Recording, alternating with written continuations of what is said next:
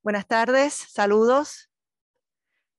Nos indican que ya podemos comenzar con nuestra exposición de hoy. Muchas gracias por estar aquí, darse cita esta tarde y gracias a los que están conectados por Zoom. Mi nombre es Alba Bruguera Fabre, profesora de la Universidad de Sagrado Corazón y mi compañera mi nombre es Iliana Ballester Panel y también soy profesora de la Universidad del Sagrado Corazón. Eh, yo soy de la Escuela de Comunicación y Alba es del Departamento de Administración de Empresas. Y vamos a hablarle en la tarde de hoy de nuestra experiencia de coenseñanza durante eh, tiempos de pandemia. Eh, quiero darles un poquito de historia, que más adelante también vamos a abundar sobre ella. Nosotros llevamos enseñando este curso en la modalidad de coenseñanza o team teaching desde el 2018 y obviamente lo que vamos a presentarles hoy fueron esos cambios que tuvimos que hacer y el resultado de esos cambios cuando eh, cayó el curso, ¿verdad? Y la universidad y todo el país y el mundo en la pandemia. Así que vamos a comenzar con nuestra presentación. Ah, y bueno. Eh, si nos quieren seguir, nosotras usamos mucho Twitter. Ahí están nuestros nombres en Twitter si nos quieren seguir y también si quieren eh, utilizar los hashtags Always Learning y HEX 2022 o HEX Best Practices, si quieren ir tuiteando en la presentación, están también bienvenidos a hacerlo. Entonces, nuestra presentación de hoy, vamos a hacer este, a utilizar la herramienta de Nearpod, así que déjenme ver si, si nos sale. ¿Por aquí? ¿No No. ¿No? ¿Tú le diste el save? Sí, pero ahora lo ponemos, no hay problema. voy entonces a, vamos a utilizar la herramienta que se llama Nearpod, eh, pero en que... Lo que Alba busca lo del QR code, eh, ahorita esta mañana nos hablaron de Nearpod en una de las presentaciones, creo que de Río Grande, que fue una de las herramientas que enseñaron, ¿verdad?, a su facultad a utilizar para incorporarlos en el rediseño de los cursos. Nosotras llevamos utilizando Nearpod, la descubrimos, ¿verdad?, en, durante la pandemia y durante la pandemia, entre los miles de talleres y webinars que cogimos, pues nosotras nos certificamos en el uso de esta herramienta eh, y la hemos estado utilizando en todas, ¿verdad? En nuestros cursos. Yo, por ejemplo, doy cursos a nivel graduado. Le estaba comentando al compañero de, de Río Grande que la usé en la clase de anoche y que podemos quizás pensar que son para cursos subgraduados y realmente Nearpod se vende más para high school y escuela elemental pero yo lo utilizo en mis cursos a nivel graduado y cuando terminé la clase ayer, los estudiantes todos me dijeron, profesora, queremos que todas las clases sean así, súper engaged en, el, en la clase, participando. Me da la oportunidad que tengo 25 estudiantes y puedo dejar que todos participen. Así es que es lo que vamos a usar ahora, lo que le vamos a mostrar y muchas de las cosas que van a ver que estamos haciendo en Nearpod con ustedes hoy aquí son las que nosotras hacemos con nuestros estudiantes en los cursos de bachillerato y de graduado. Correcto. Acabo de compartir en el chat de Zoom el enlace a Nearpod. Pueden conectarse eh, dándole clic a ese enlace. Y los que están presentes pues pueden escanearlo también en, eh, con su celular si nos desean seguir por la presentación. Así que voy a mm, continuar. Estamos presentando. Em, pueden utilizar las dos pantallas si están en, los que están conectados en, en Zoom.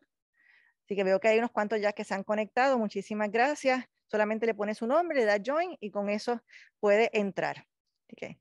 Ahora, queremos comenzar con una actividad eh, para movernos un poco. Sí, porque sabemos que llevamos mucho aquí desde las ocho y pico de la mañana, hemos aprendido muchísimo en muchas de las de las charlas ¿verdad? que hemos tomado, también venimos después del almuerzo y este es el último turno. Y cuando Alba y yo vimos que éramos el último turno del día, dijimos, tenemos que iniciar moviéndonos y haciendo algo. Así es que vamos a hacer un ejercicio que quizá ustedes lo han hecho en las redes sociales. Eh, para nada, para activarnos y conocernos un poquito. Y esta es la primera actividad que tenemos con ustedes. Y es la actividad de esto o aquello, this or that. Yo creo que lo han visto en, en Instagram o en las redes sociales, así es que vamos. Esto o aquello, team pizza o team taco. Pizza, taco. pizza. Pizza, muy, bien. Vamos a la próxima. ¿Café o té? Café, café. Próxima, ¿río o playa? Playa, playa. Alba le tiene miedo a la bilarcia. Ahora, la próxima. ¿Hulu o Netflix? Netflix. claro que sí. efectivo o crédito. Y es profesora de economía y finanzas personales. Piense bien. Y esta. Presencial o virtual. Aquí puede ser que tenemos algo dividido, presencial, virtual. Muy bien.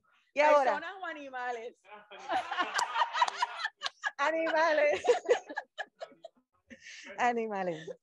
Qué difícil, ¿verdad? Sí. Muy bien, muchísimas gracias por participar en esto. Muchas gracias. Bueno, estos son los objetivos de nuestra presentación de la tarde de hoy. Nosotros em, vamos a presentar, vamos a comenzar con una reflexión sobre la pandemia y su impacto en la docencia. Vamos a hablar un poco sobre eh, la coenseñanza y los modelos que existen de coenseñanza. De igual forma, vamos a hablar de los beneficios y retos y luego vamos a presentar nuestra experiencia dentro de la coenseñanza. Y finalmente vamos a presentar una herramienta que hemos desarrollado basada en esta experiencia. Bueno, pues hablando, ¿verdad? Un poquito de lo que todos hemos vivido y quizás todavía estamos viviendo, que es el síndrome de agotamiento pandémico, que lo define la Organización Mundial de la Salud, ¿verdad? Como unos síntomas físicos y emocionales que experimentamos los docentes, pero casi todos los trabajadores, los estudiantes, etcétera. Incluye sentimientos de agotamiento, mayor distancia mental, sentimientos de negatividad, cinismo hacia el trabajo y una capacidad reducida, ¿verdad?, de producir o de hacer nuestro trabajo. Es un agotamiento, ¿verdad?, que se refleja por el continuo esfuerzo físico, cognitivo y emocional que, ¿verdad?, todos tuvimos que hacer, especialmente cuando tuvimos que hacer aunque ya estábamos en unas modalidades híbridas, quizás hacer unas transiciones dramáticas para poder movernos a la completa virtualidad, ¿verdad?, de nuestros cursos. Eh, la pandemia, y esto a mí me impresionó muchísimo, ¿verdad? Ya hace quizás como un año, están saliendo muchos estudios, muchas investigaciones de cómo ha afectado ¿verdad? la pandemia al personal administrativo, a los docentes y a los estudiantes universitarios, especialmente en términos de su salud física y emocional. Eh, la, la facultad, y ya se está documentando, ha experimentado niveles altos de frustración, ansiedad y estrés, aumento significativo en la carga de trabajo y deterioro, ¿verdad?, en el equilibrio ese que teníamos entre lo que es el trabajo y nuestra vida personal. Y lamentablemente, y es lo que están reflejando los últimos estudios, mucha facultad, y de hecho en el Chronicle of Higher Education salió hace como escasamente dos o tres semanas un artículo de muchos profesores abandonando la carrera de la docencia, ¿verdad? Eh, ya no viéndolo, ¿verdad? Como un trabajo que me da placer, que me da felicidad, que lo quiero hacer eh, toda la vida hasta que me retire y se están saliendo, ¿verdad? De la academia y se están muchos cuestionando, vemos también a nivel de las universidades, cerrándose los programas de educación en las universidades, este, porque nadie quiere estudiar para ser maestro. Así es que eso es una realidad y tenemos que ver, ¿verdad?, cómo nosotros también la atendemos desde nuestros espacios. Vamos ahora a pasar a la segunda actividad de hoy. Esta vez no es this or No, no. Este, bueno, esta la puedes, podemos hacer aquí en, en los que estamos presentes, pero también si están en Nearpod conectados, pues vamos a pedir que nos ayuden. Y esta actividad se llama pescado bombao. Pescado bombao. Eh, esta actividad también la hacemos con los estudiantes. La hacemos con los estudiantes, eh, este, sobre todo cuando estamos en estos momentos de reflexión. sí. Bueno, pues el pescado bomba es, es aquello que, eh, que, nos persigue, que, que lo escondemos y lo guardamos, que nos molesta, que nos, que, que nos ¿verdad? impacta nuestras vidas, nuestra vocación y, el salón de clase. Pero por más que lo guardamos, lo guardamos allá atrás, ¿verdad? se va haciendo más apestoso. ¿verdad? En esta actividad vamos a utilizar una herramienta que se llama Collaborate. Este, los que están en... Ay, mira, este no cogió. Los que están en Nearpod van a poder verlo. Es una actividad, eh, ustedes nos van a presentar cuál es su pescado bombao, qué es lo que le preocupa, cuáles son sus miedos, cuáles son sus inquietudes en este proceso, en la pandemia, en la vocación que tenemos nosotros en el salón de clase, en la virtualidad, en los remotos. Eh, esta actividad la hacemos con los estudiantes y lo hacemos porque a veces también ellos no se atreven a decirlo. Y es una forma también de que ellos puedan ver aquel aquella siente lo mismo que yo, está pasando por lo mismo. Y también es una forma de nosotros poder identificar oportunamente aquellas cosas que podemos tal vez intervenir o referir, ¿verdad? Otras, eh, y lo podemos hacer temprano en el salón, la clase, en el salón, en, la sesión académica, Este, o eh, la misma durante el, el, día, la reunión de la clase. Los que están en Nearpod van a ver en la parte eh, inferior una barra donde pueden escribir y una vez escriben le dan post y sale entonces los comentarios. Sí, no sé por qué no me sale aquí. ¿Estás en el Student View o el T-shirt? ¿Estás compartiendo Student o T-shirt View? No, es. No, Student. Estoy en Student View. Vamos a ver si tenemos por aquí algunos. No, puedes hacer nada. Okay. Puede ser el internet. El... Okay. yo creo que es la conexión. Algo me, o cuando lo grabé no me o bien, pero eh, si nos pueden decir, eh, lo pueden enviar por el chat los que están conectados con nosotros por, por Zoom, pueden conectar en, en, escribirnos en el chat y decirnos cuál es su pescado bombado. Si alguien quiere decirnos aquí de los que están presentes, mucho gusto. ¿Qué nos quiere decir su pescado bombado? Muy bien, yo creo que eso, eso es una queja, ¿verdad? De las, cajitas negras. Las cajitas negras. Yo creo que eso es una... Eh, yo me he desahogado con mis estudiantes, ¿verdad? Les he dicho que la verdad que por lo menos verle las caras crea un espacio, aunque sea en el Zoom, ¿verdad? De conexión con el estudiante. Y también he diseñado una serie de ejercicios para motivarlos a que prendan cámara. Uno de ellos es que, por ejemplo, les digo para la próxima clase, eh, todos van a diseñar, eh, yo enseño publicidad y mercadeo, todos van a diseñar eh, el, el, background, Zoom background, y lo van a hacer con el tema del libro que estén leyendo en este momento, o el país al cual quieren viajar, o la comida favorita de ustedes. Y entonces tienen, y los primeros 5 o 7 minutos de la clase lo dedico a, a comentar los, los backgrounds. Y eso los ha motivado. Todavía tengo gente que no lo hace, pero la mayoría no, lo hace porque no puede por su mm. conexión a internet o porque la computadora no le permite, ¿verdad? Porque no está actualizada, pero la mayoría pues se ha motivado a, aprender cámara. Sí, yo les digo que diseñen el background y que... Ah, no sé. Yo sé que en Teams no se puede, yo no lo he visto en Teams tampoco, pero en Zoom, sí, Blackboard yo creo que tampoco. Exactamente. Ajá. Yo les digo que pongan ahorita el avatar. Ajá. Se sale la cara esa gris y yo digo, pero pongan algo, aunque sea, no sé, no tiene que ser su foto, pero puede ser algo con lo que te identifique. Sí, sí. Por aquí nos comentan eh, en el chat que me siento en un modólogo dando la clase. Yo creo que esa ha sido la queja principal. Yo, ya yo, eh, le digo a los compañeros, mira, ya yo me quité ese asunto de mi vida. yo le di delete yo le digo, yo estoy aquí, estoy hora y 20 con ustedes, si quieres prender la cámara y quieres interactuar conmigo, aquí estoy. Eh, de verdad es tu tiempo, es mi tiempo y yo no voy a, perder, ¿verdad? Mucho tiempo en la clase peleando, prende cámara, prende cámara, o, sea, o como hacen compañeros a veces que los sacan de la reunión eh, o los ponen en waiting room y cuando, hasta que no prendan cámara no entran.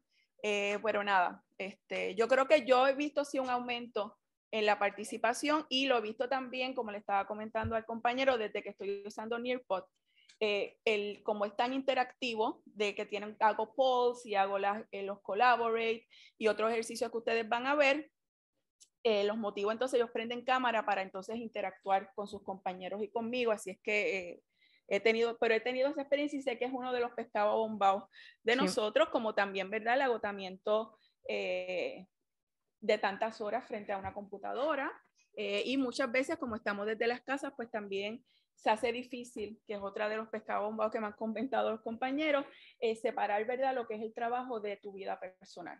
Porque antes era fácil, te montas en un carro y dejas atrás la universidad. Ahora la universidad está todavía en tu casa eh, y entonces está ahí con tu familia, está todo. Entonces, como tú dices, bueno, apago computadora y no vuelvo a trabajar hasta el otro día para mantener esos espacios. Yo creo que esa es también una de las eh, dificultades que ha traído eh, lo de la pandemia. que surge que por, lo, por, la pandemia es que la universidad no. o sea, está vacía, no hay sí. uh -huh. los pasillos vacíos, ya después de la una no hay nada y como que como que de, sí, sí, no es lo mismo, ¿verdad? Pero esperamos que vamos a volver poco a poco, ¿verdad? A, o sea, como decía Tito esta mañana, hay cosas que ya no van a volver a como eran antes y está bien que no volvamos. Y yo creo que, que, hemos mejorado, ¿verdad? Eh, yo por lo menos siento, yo, yo llevo con educación a distancia y cursos en línea, no sé ni hace cuántos años. Eh, desde que mi universidad empezó, yo fui de ese primer grupo y yo he aprendido un montón en estos pasados años y siento que he evolucionado como profesora. Eh, así es que, y hay cosas que no quiero volver a como eran antes, definitivamente. Pero vamos entonces a continuar. Continuamos por acá. Eh, voy a pedir disculpas porque parece que al pasarlo a Nearpod no me corrió algunas, algunas actividades, así que me disculpo por, por haber hecho conectarse a Nearpod. eh, pero a veces uno se planifica, ¿verdad? Y, lo practica y lo practica, y nosotros somos dos que practicamos todo. Eh, este, pero, pero a veces no nos sale, y esto pues para que vean, también nos pasa en el salón, ¿verdad? La tecnología es maravillosa, pero también nos puede... Pero nada, aquí vamos a presentarle toda esta experiencia que hemos tenido, toda la reflexión. Nosotras llevamos un proceso desde que empezamos a enseñar el curso en la modalidad de coenseñanza. fue mi primera experiencia y la primera también de Alba en lo que llamamos verde investigación en el salón de clase, Action, Action Research. Y hemos estado cada vez que cerramos un semestre recogiendo ¿verdad? nuestras reflexiones, incorporando los cambios al curso y volviendo a reflexionar en un ciclo continuo de investigación. Lo que le vamos a presentar hoy es esta última reflexión cuando nos tuvimos que ir remoto en una, en una clase ¿verdad? de coenseñanza, en las decisiones, cómo las tomamos, eh, cómo reevaluamos el curso, la experiencia de los estudiantes y demostrarles que durante la pandemia dos, profesoras, son siempre mejor, que una. Exactamente. Esa, es la parte mía de publicidad. Y, es, la forma, y es la forma de nosotros también presentarles a ustedes cómo podemos compartir la carga ese, ese quemazón laboral que hablaba ahorita Liliana, cómo la podemos compartir en el salón de clase. Y nuestra solución o una de las soluciones que nosotras traemos es la coenseñanza, ¿verdad? Como eh, compartir, ¿verdad? Ese salón de clase. Y la coenseñanza... Sí, la, la coenseñanza obviamente a nosotros nos ha ayudado a, a trabajar el aislamiento. Muchos de nosotros nos sentimos, ¿verdad?, muy eh, bajo el lockdown, pues estábamos aislados de nuestros colegas. Eh, cuando estamos en la universidad, si algo no nos sale, es tan sencillo como ir a la otra oficina o tocarle la puerta a alguien y ir, ayúdame, o nos encontrábamos en los pasillos y compartíamos, ¿verdad?, las buenas y malas experiencias que habíamos tenido durante el día. Así es que durante el lockdown eso se perdió también, ese compartir con los colegas. Al nosotras estar juntas, pues nos dimos cuenta que como teníamos que seguir comunicándonos por el curso, pues combatió, ¿verdad?, la coenseñanza, el aislamiento y también el agotamiento, porque compartíamos las tareas. Siempre lo hicimos, aunque no estábamos, ¿verdad?, en pandemia, siempre nos compartimos las tareas, pero nos dimos cuenta que en este proceso pues ayudó. Eh, ella, Alba me contaba de los talleres, yo le contaba de los míos, nos matriculábamos juntas en otros talleres, eh, compartíamos, ¿verdad? La, no, no, podíamos, servíamos cada una de paño de lágrimas a la otra, así es que realmente fue un proceso que nos ayudó. Así es que la coenseñanza la estamos presentando como una manera de reducir el aislamiento, como renovar, ¿verdad?, el compromiso con la docencia, con la vocación, ¿verdad?, que todos eh, tenemos de enseñar y como ver la, el proceso de enseñanza como colaboración, colaboración entre colegas. Por eso es que durante la pandemia dos profesoras son mejor que una. Eh, bueno, pero ¿qué es la coenseñanza? La coenseñanza es un método que reúne dos o más docentes en el salón de clase y se comparten entonces las evaluaciones, eh, eh, cómo van a dictar esa, esa, planificación, los materiales del curso y crean esa comunidad de aprendizaje. Y esa es la definición que nosotras utilizamos cuando hablamos de coenseñanza porque ciertamente han surgido muchas en la literatura sobre qué es la coenseñanza y muchas versiones, ¿verdad? variantes de, esa, de la coenseñanza. Y vamos a ver si nos sale esta actividad. Vamos para la tercera actividad de hoy. Me disculpo que no van a poder hacerlo por el, eh, el, este, el enlace, ¿verdad? Que les había dado finalmente. Voy a quiero compartir por acá, pero los que están presentes no van a poder continuar. Eh, y bueno, la pregunta a los que están en Zoom, porque están aquí no pueden hacer, es ¿quiénes han hecho una, una, han dictado un curso de coenseñanza? ¿Quién, ¿Quién, tiene una experiencia sobre la coenseñanza? Tito. Ah. Tito tiene, allá tenemos otra persona, muy bien, excelente. Y esas experiencias, ¿verdad? Pues a veces dice, ok, no vuelvo, hay que decirlo, pero también por otro lado, también nos permite a nosotros decir, ok, ¿qué tal si cambiamos esto? ¿Qué tal si hacemos esto otro? ¿verdad? Y vamos entonces, y eso es lo que implica eh, la coenseñanza y esta colaboración y este, eh, este equipo, ¿verdad? Porque es un equipo y es comunicarnos constantemente y, ir entonces sobre, sobre eh, lo que vamos, ¿verdad? Este, eh, sintiéndolo, porque que, tiene muchos elementos de emociones, porque pues, somos humanos, ¿verdad? Y, tenemos todo eso, eh, eso en el salón de clase. Hay varios modelos de coenseñanza, ¿verdad? Y vamos a ir brevemente sobre ellas. El más común el más utilizado es este tipo, que es el de conferencia y hay un laboratorio. Hay un facultativo, un docente que se encarga entonces de esa enseñanza y luego se divide en un subconjunto, ¿verdad? De, eh, o, conjuntos más pequeños de estudiantes. Típicamente, si tiene un estudiante graduado, que se hace la parte del de, eh, laboratorio, u otra sesión o lecciones o de repaso. Ese es el más básico, se utiliza bastante. Y aquí hay otras submodalidades como el de eh, enseñar y ayudar, enseñar y corregir o enseñar y, observar. ¿verdad? También se utiliza mucho como técnica de investigación en los salones de clase. Y esa es la más básica o la más, o la más común dentro de la eh, coenseñanza. Esta segunda, donde hay un sector principal, por lo general, eh, los cursos generales, este, o los cursos que son este, eh, sí, este los generales que tienen muchas secciones. Que tienen muchas secciones, son secciones. Sí. Entonces, hay un instructor principal que diseña y planifica el curso y luego hay otros instructores adicionales que se encargan entonces de dictar en su sección. Los estudiantes tienen contacto directamente con ese docente, no con el principal.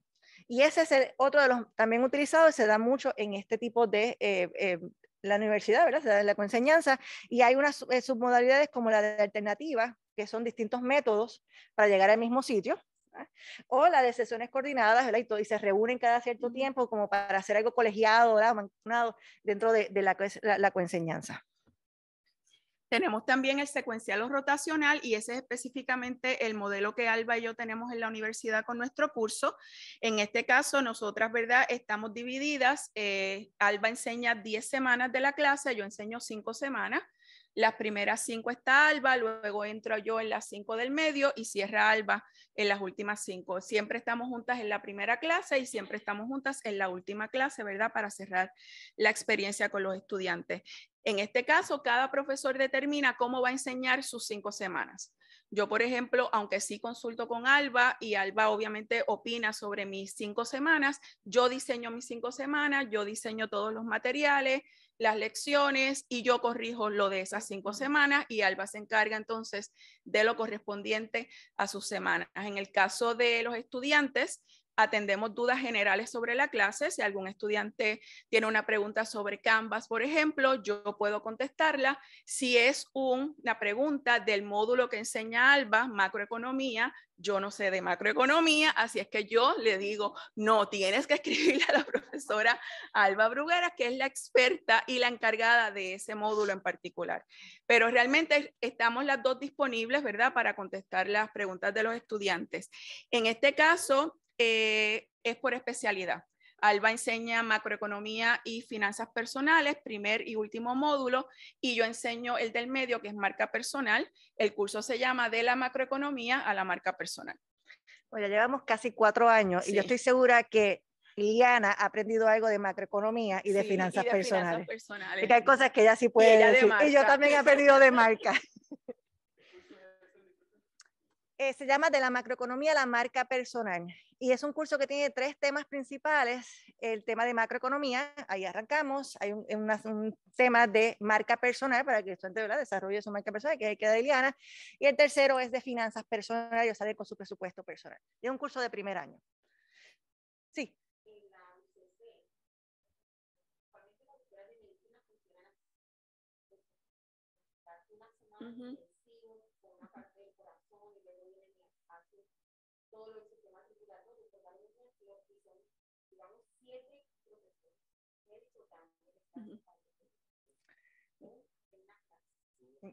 Y eso es, eh, son estas modalidades que han surgido este, en beneficio de los estudiantes y en algunos casos ha, funcionado. Nosotros ya llevamos, este es nuestro cuarto año dando esta, esta clase y hemos, hemos cambiado cosas.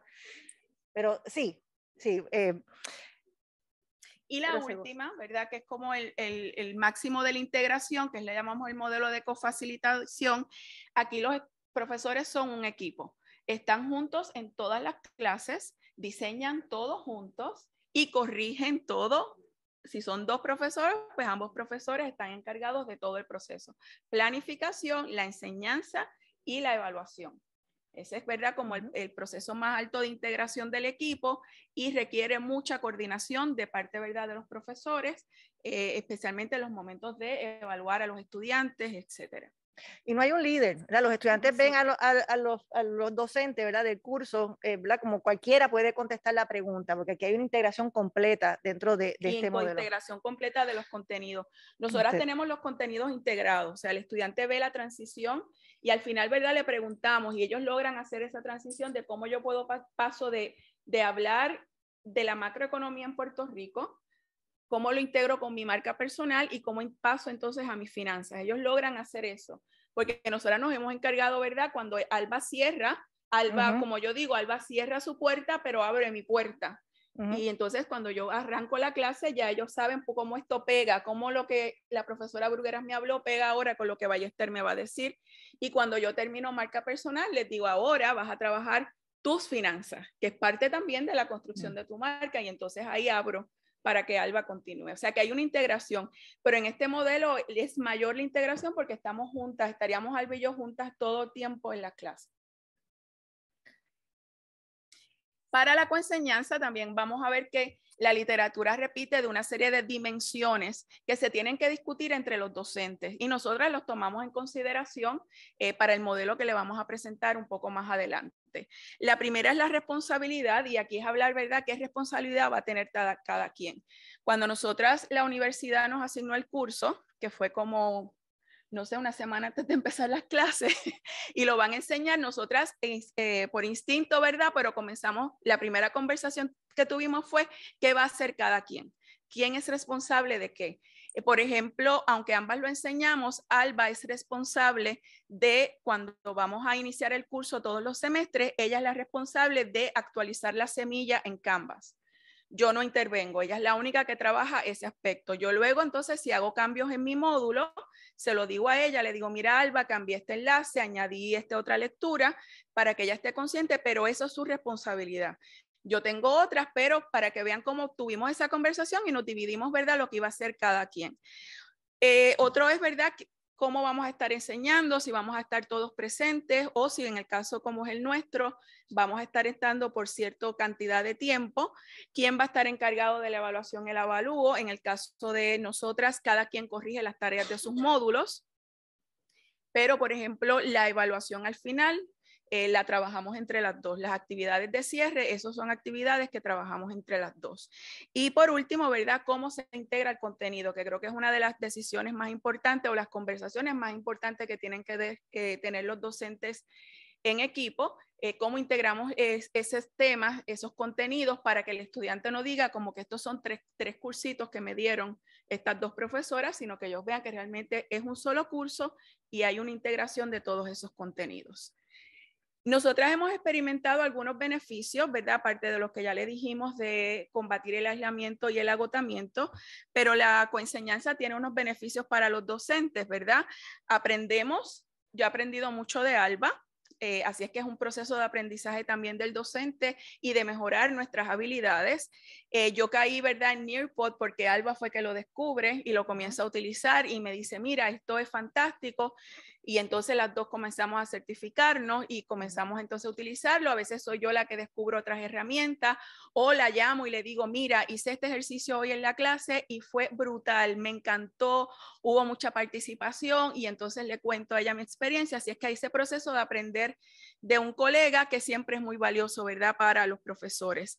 Eh, salimos de nuestra zona de confort. Yo he tenido, eh, ¿verdad? Pues hacer cosas que quizás no era lo más cómodo para mí. A veces tendemos a caer en la rutina y seguir repitiendo las cosas que no están saliendo bien. Así es que el enseñar en equipo a veces nos ayuda a salir de la zona de confort. Eh, evitamos, ¿verdad? La experiencia solitaria que a veces es el enseñar, incluyendo, ¿verdad? La presencialidad, a veces es muy solo, ¿verdad? y esto nos permite compartir. Eh, obtenemos nuevos conocimientos, como dijo Alba, también de otras disciplinas, o sea, de finanzas personal, de macroeconomía o de otras clases. Construimos relaciones entre los profesores, modelamos el respeto y el trabajo en equipo y yo creo que esto es uno de los beneficios más grandes que nosotros le hemos visto a esta experiencia y es cuando nosotros nos presentamos el primer día de clase, le decimos a los estudiantes, este es el equipo, somos nosotras dos. Y le decimos cómo tomamos decisiones, cómo hemos montado el curso y es modelar ante ellos que el trabajo en equipo es un trabajo efectivo, que es bueno y mira aquí los resultados. Así es que esa parte de modelar a los estudiantes es excelente y obviamente pues nos mantenemos eh, informados y entusiasmados con todo lo que es la docencia.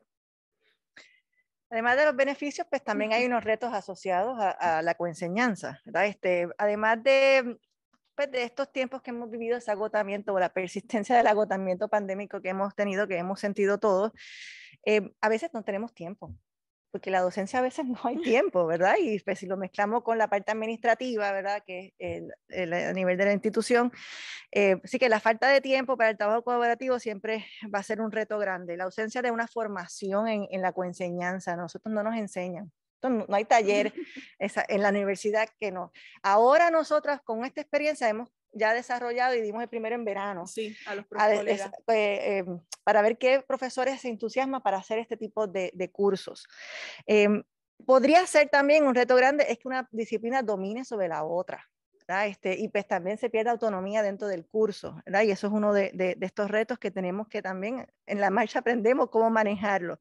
Podemos tener estilos diferentes y filosofías de enseñanza diferentes. Eso pasa. Por eso tiene que estar claro al principio, de, de, no solamente la responsabilidad, sino cómo, cuál es tu estilo, cómo soy yo, y esas herramientas, como por ejemplo en la presentación anterior que hablaba de enseñarnos, ¿verdad?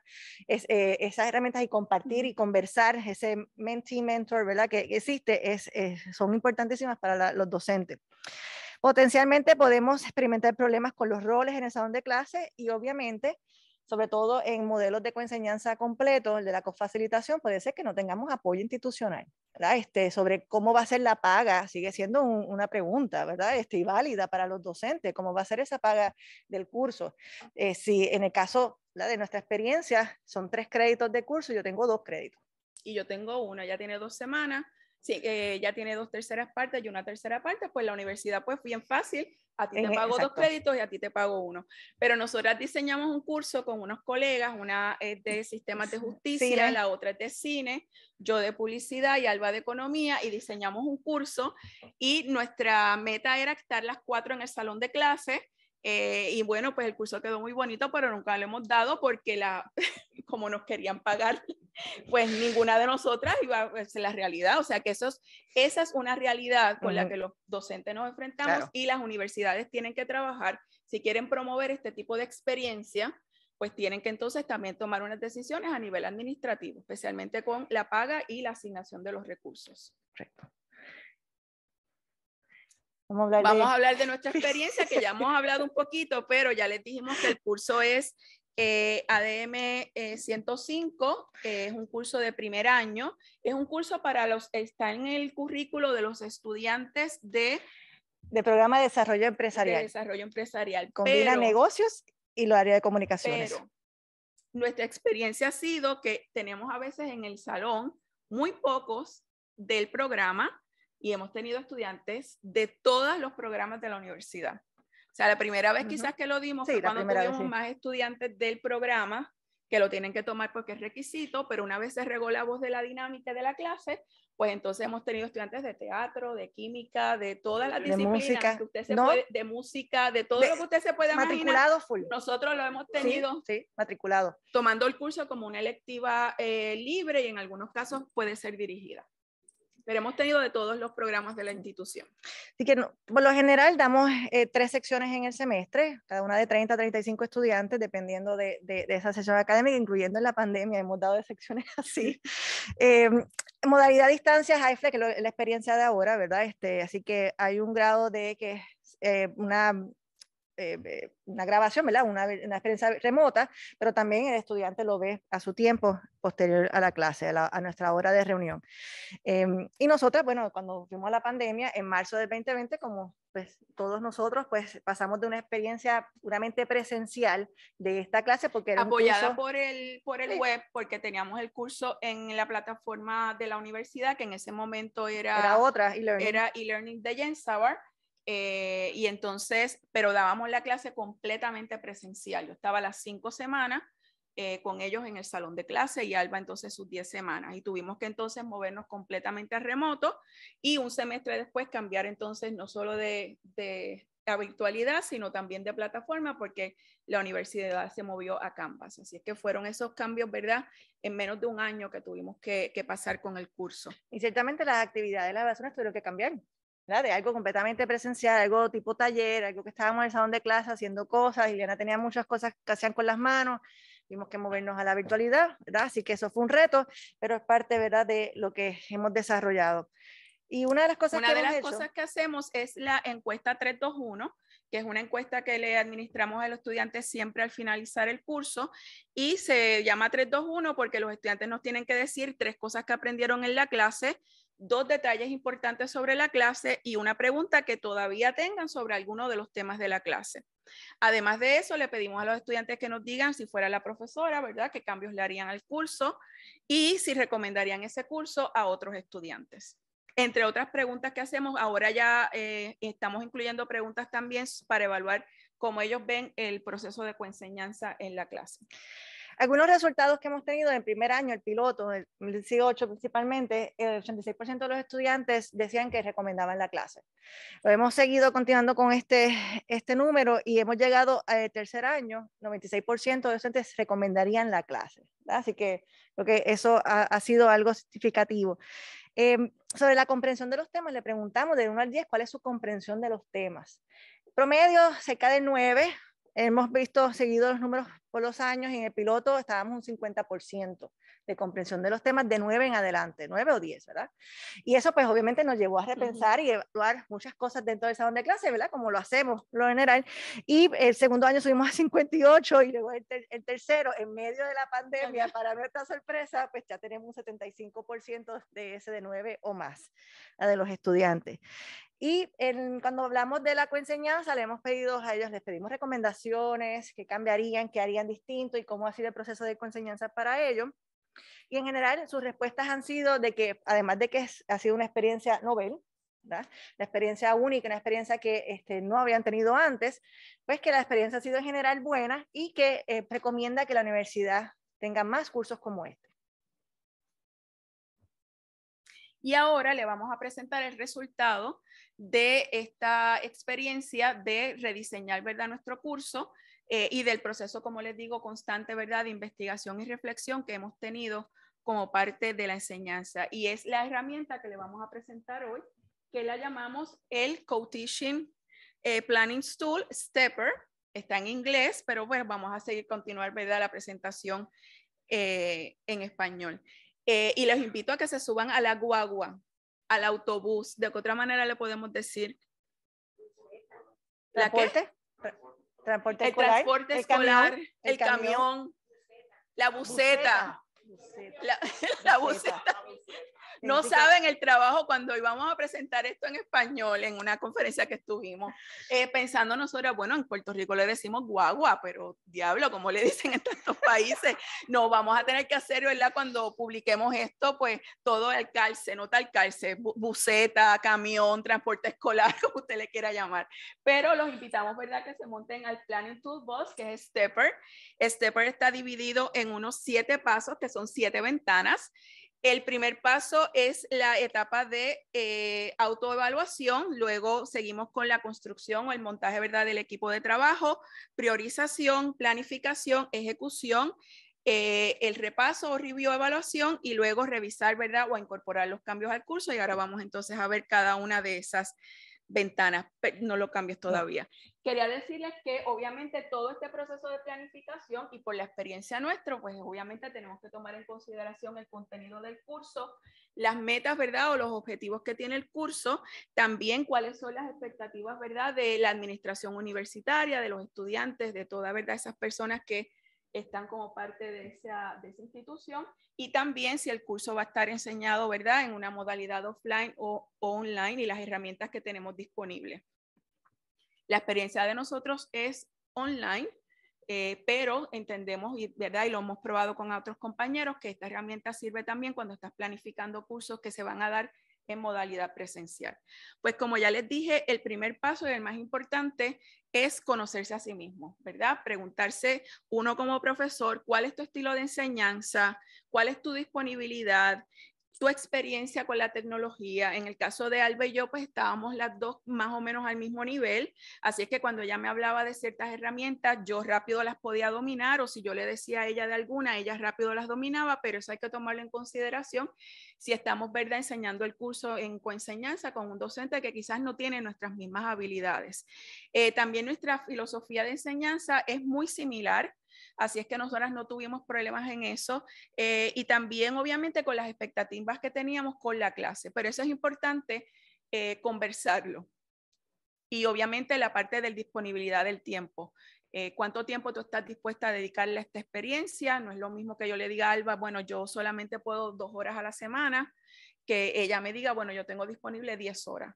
Si es que esos son temas que hay que hablar y hay que hablarlo, ¿verdad? Antes de iniciar, son preguntas que nos tenemos que hacer antes de decir, esta es la experiencia que quiero tener con otro docente. Una vez entonces, esa es la primera ventanita. Una vez haces ese ejercicio de autoevaluación, que obviamente incluye muchas más preguntas que esa, eh, pasas entonces a la segunda ventana y la segunda ventana es cuando conoces a tu compañero. de equipo. Y ahí ya los dos hemos hecho el ejercicio de autoevaluación, así es que ya los dos estamos listos para qué, para compartir y decirle, mira Alba, este es mi estilo de enseñanza, esto es lo que yo creo, esta es mi filosofía, así yo veo a los estudiantes, este es mi dominio, a mí me encanta hacer cosas con tecnología y que Alba me dijera, no, ay, a mí no me gusta nada de la tecnología, a mí no me pongan a hacer esas cosas. Todo eso hay que conversarlo y entonces por eso es que llamamos esa segunda ventana la parte, ¿verdad?, de construir el equipo. Una vez el equipo está construido, entonces podemos salir, pasar juntas a la tercera ventana del autobús, que es entonces la priorización. Y se recuerdan las cuatro áreas que les mencioné ahorita, responsabilidades, eh, la colaboración, el eh, eh, contenido, integración de contenido, pues entonces es hablar ya de esas cuatro áreas concretamente y del curso. ¿Qué vamos a hacer con el curso y cómo vamos a manejar esta experiencia? Las próximas ventanas del autobús, pues entonces ya empezamos a planificar y ejecutar. Ahí ya tenemos nuestro plan de actividades, plan de trabajo, ya estamos eh, eh, luego enseñando la clase, pasamos entonces a, la, a las reflexiones. Y aquí pues, puede ser de diferentes formas, pueden ser reflexiones diarias, reflexiones semanales o al final, eh, periódicamente, una comienzo del semestre, a mediados del semestre, de la sesión académica y luego al final, siempre bueno uno al final para que entonces poder tener esa evaluación y prepararse para la próxima. De igual forma, las evaluaciones de estudiantes pues nos sirven muchísimo para conocer cómo ellos van eh, cómo ellos se sienten, ¿verdad? Y también escucharlo en cuanto a sus recomendaciones, mucho que, que ellos eh, aportan en ese sentido. Em, de igual forma, eh, el último, la última ventana es revisar. Aquí ya nosotros decidimos qué vamos a hacer, qué vamos a cambiar y regresamos y modificamos revisamos lo que tengamos que hacer y miramos qué, qué cambios hay que hacer para la próxima eh, sesión académica. Y ahora me dice, mira, yo creo que debemos de modificar esto, yo creo que eh, este otro tema debemos de moverlo. Y así hemos estado constantemente en este curso que, como les dije ahorita, llevamos casi cuatro años dándolo. El, el orden original del curso es, era macroeconomía, finanzas y marca. Por eso se llama de la macroeconomía a las finanzas, a la, marca, personal. Pero en la creo que el primer año le preguntamos a los estudiantes, ¿este es el orden de los temas? ¿Ustedes creen que este debe ser el orden? Y nos dijeron, no, eh, debe ser macroeconomía, marca y después finanzas y es como lo hemos dejado. Ellos siempre escogen macroeconomía primero porque para ellos dicen que es el tema más difícil y lo quieren como que salir de él ya. Así es que macroeconomía, hemos tratado de ponerlo al final, le decimos, ¿qué todos creen si lo ponemos al final? No, no, no, déjenlo al principio. Así es que se ha quedado ese orden por los pasados años. Y, y la verdad es que cuando se diseñó, déjenme aclarar que la universidad, a nosotros nos dieron un prontuario. Eso fue lo que nos sí. dieron un prontuario y nosotros seguimos el prontuario tal como, como estaba. Y la lógica que nos decía en ese momento, bueno, tú conoces primero cómo está el entorno, ¿verdad? La, economía del país, cómo te impacta esa economía. Tú piensas después en, en, cómo tu manejo de tu planificación y tu dinero eh, eh, personal, cómo lo puedes manejar basado en ese entorno. Y luego entonces vamos moviéndonos hacia lo micro, a lo más pequeño, y luego entonces basado en que tú ya conozcas tu realidad, dinero, pues entonces te pasa y desarrollas tu marca personal basado en eso, que yo quiero hacer, mis metas profesionales personales. Y esa era la lógica que seguíamos. Pero en, a medida que íbamos avanzando en el curso y preguntábamos a los estudiantes qué pensaban de esto, qué pensaban recibiendo esa retroalimentación y nos decidimos al final cambiarlo y ha sido la verdad que ellos les, les ha gustado. Eh, por el momento. Em, pero a mí no se me quita de cambiar a macro al final. Sí.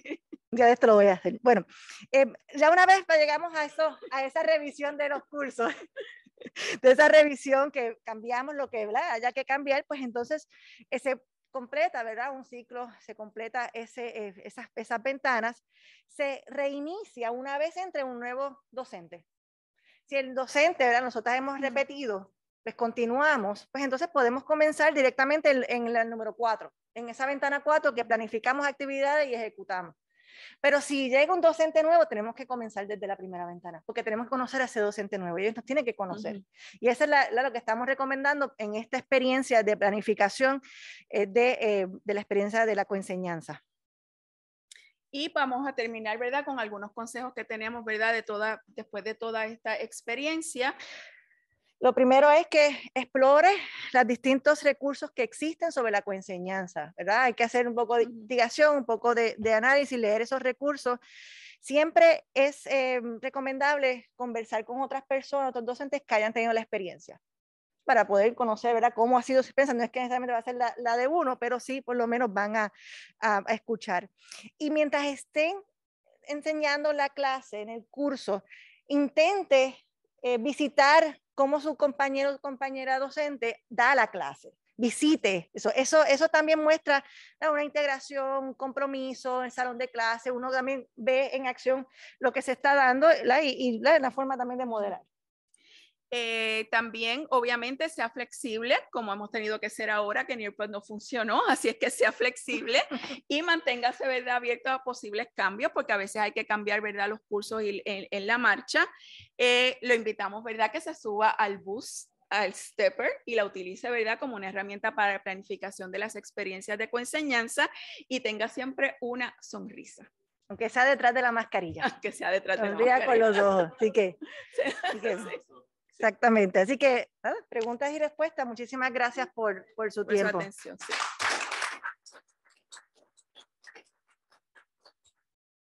No sé si hay preguntas en el chat. No, no veo preguntas en el chat, solo que completen la evaluación de eh, la presentación. Me disculpo nuevamente porque no me funcionó. no me funcionó en el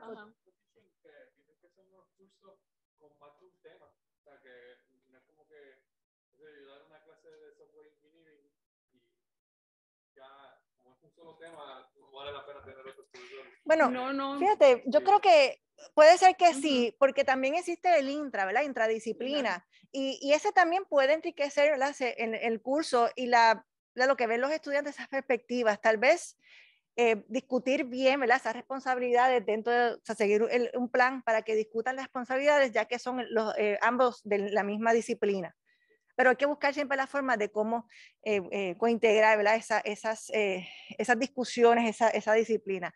Sí, cuando lo hacemos interdisciplinas, este, hacemos, combinamos estas disciplinas, pues tal vez podemos ver una integración que se dé, pero tiene que ser provocada, tiene que ser planificado, tiene que darse, no, no, podemos llegar al salón de clase y hacer una, o sea, yo estoy mis cinco semanas, se acabó ese tema, y los dejo con la próxima.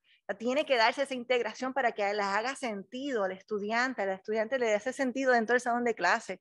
Así que este, yo creo que eh, si en una planificación se puede dar. Sí, y vas a eh, encontrar cuando, si buscan ver más información sobre el tema, vas a encontrar también eh, muchos ejemplos de profesores dando el, un curso que no es, son dos o tres temas como el caso nuestro vas a ver que sí, es posible hacerlo y hay mucha verdad información sobre él. Como te digo, ejemplos de prácticas exitosas de profesores dando eh, sobre un mismo tema la clase, compartiendo el espacio. Claro, y también están las distintas eh, modelos, los distintos modelos de la coenseñanza.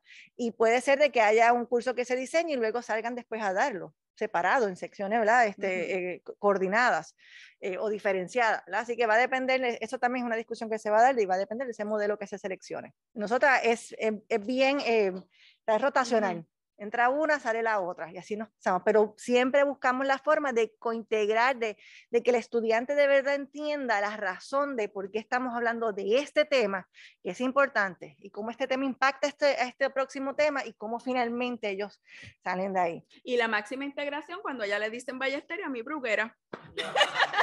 También, porque las dos son B. Sí, y los estudiantes a veces, ¿verdad? Escriben y yo digo, este mensaje no es para mí. Está pensando que soy bruguera, pero, pero no es para mí el mensaje y le doy forward a ella. Sí. online, online. Sí. Pero ha sido una, una, experiencia bien enriquecedora. Yo he aprendido y mucho. Y lo otro, ¿verdad? Que no lo, no lo mencionamos aquí, pero desde que nosotras estamos enseñando este curso, pues nosotras hemos podido apoyarnos también, no solamente en la docencia, pero también en la investigación.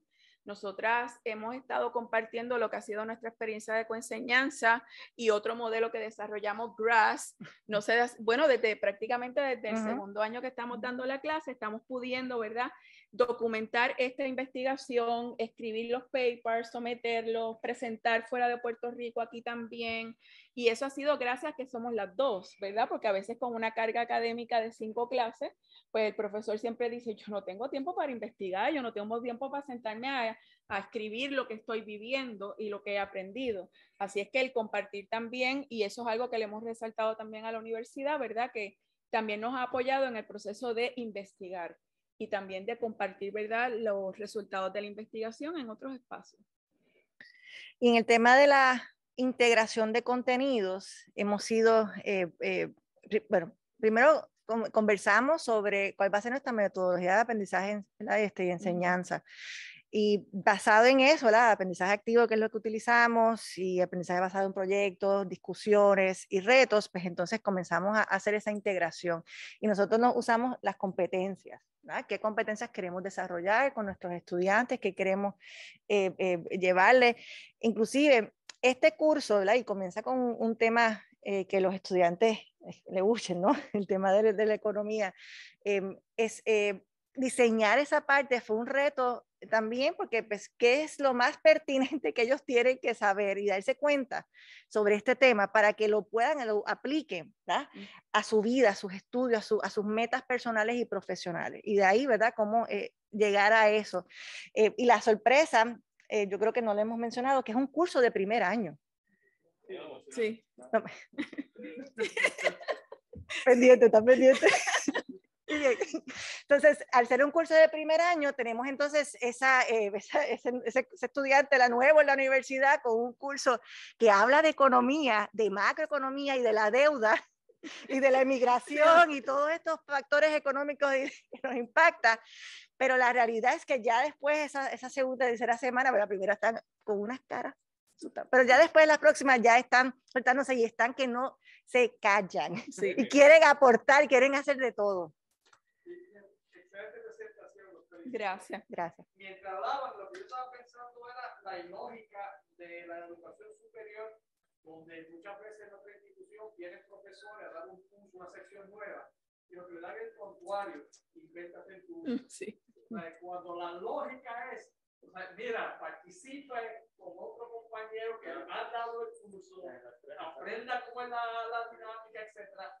Pasa ese curso y si quiere cambiar, que cambie. Pero ese proceso de instrucción es tan lógico para una buena educación y sin embargo no es la práctica regular. Sí, no es la práctica. Correcto. Sí. Eh, bueno, voy a mostrarles unos ejemplos aquí. Sí, voy a mostrarles unos ejemplos de algunas, este, si me permiten. Ajá.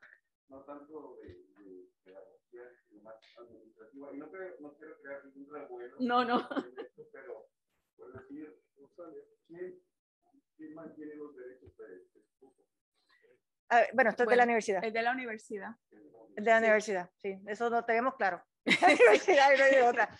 La otra pregunta es, cuando los estudiantes los evalúan, a los profesores, ¿cómo los evalúan? ¿Es independiente? Bueno, está la evaluación de la universidad, que esa es una evaluación, ¿verdad?, que todos los estudiantes reciben y tienen que hacerla. En ese caso, pues, eh, el curso dice profesora Ballester, pero siempre la evaluación es de un docente. Sí. La, realmente la, la, evaluación importante para nosotras es la que nosotras estamos haciendo, que es el 321.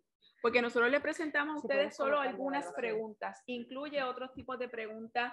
Eh, por ejemplo, eh, si, si las asignaciones eran muy difíciles, eh, si, las, si, si, respondimos a tiempo, por ejemplo, sus correos, eh, si se sintieron, ¿verdad?, presentes en la clase. O sea, hay otro tipo de preguntas y esa es la que más bien nosotras eh, nos estamos dejando llevar para incorporar, ¿verdad?, los cambios. Nosotros... Eh, reparten una evaluación y ese es para el curso completo. Si yo la daño, le chavo a Alba, porque sí, exactamente, una, por las dos. No es una evaluación de cada una, que sería lo justo. Una de las preguntas que hacemos ahora es eh, también, les preguntamos cómo fue eh, el correr por el curso en línea, porque esa experiencia también la entendemos que es parte de, de del curso. El cómo ellos puedo, pudieron ver la lección 1, cómo pasó y esos contenidos, esas lecciones dentro del curso eh, en línea, nosotros usamos la plataforma de Canvas, ¿cómo les pareció a ellos? Allá atrás tengo una pregunta.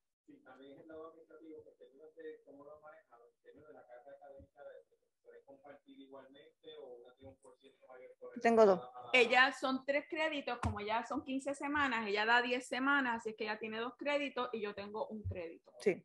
Y, y sí, ese crédito es parte de mi carga eh, académica en la universidad y la de ella también. Y si es marketing,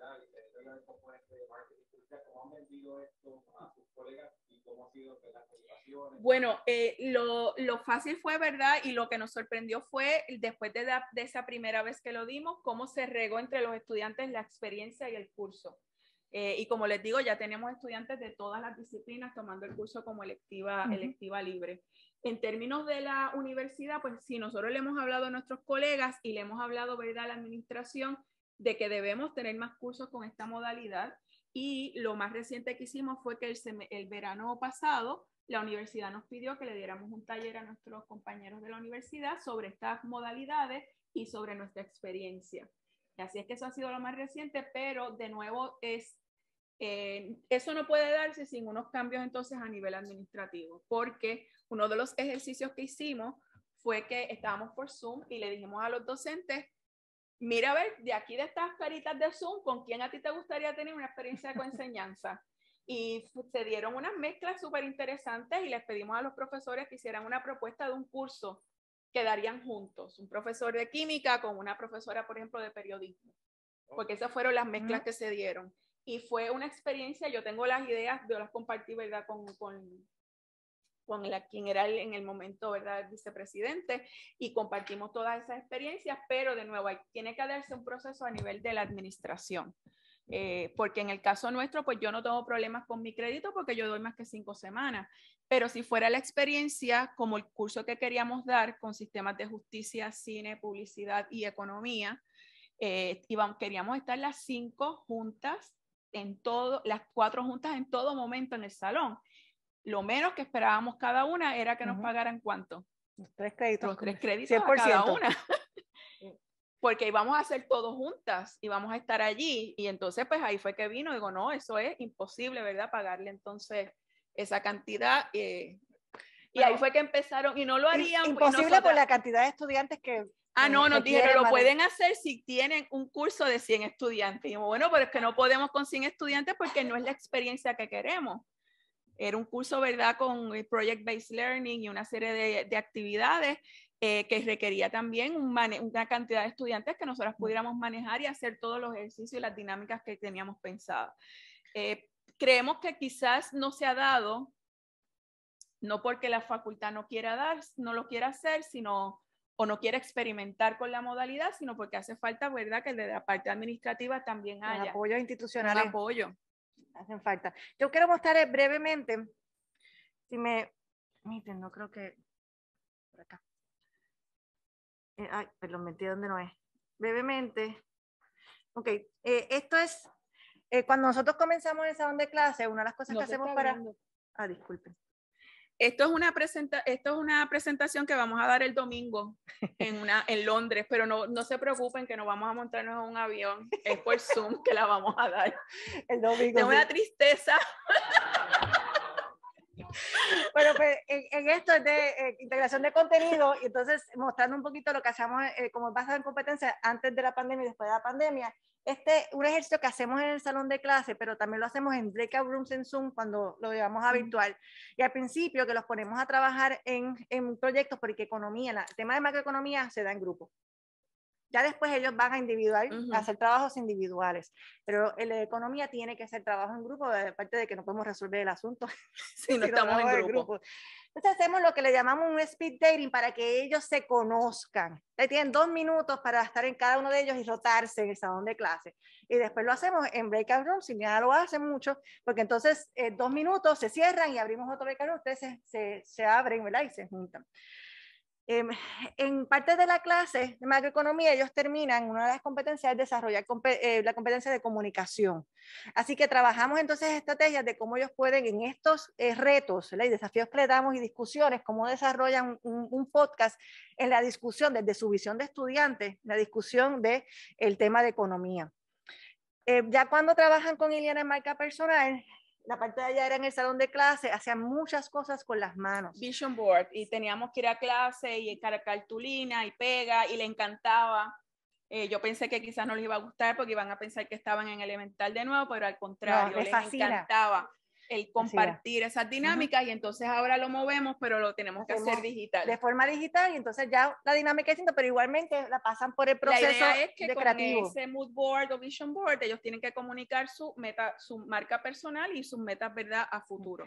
Y también desarrolla la creatividad entre ellos. Ah, este, eh, ya después en finanzas hay varias cosas que ellos hacen. Yo les mando a hacer videos sobre su, una meta que tengan en términos financieros y que la desarrollen y me la presenten una, en una ocasión hicimos videos y ellos se... Eh, de la pandemia, eh, donde ellos entonces cogen una situación, dice, por ejemplo, un viaje, y me planifico para ese viaje, en este caso era para comenzar una familia y aquí para vivir con roommates. Y en temas, son temas bien de ellos dentro de finanzas personales. Y ya después eh, lo que desarrollan es su presupuesto personal.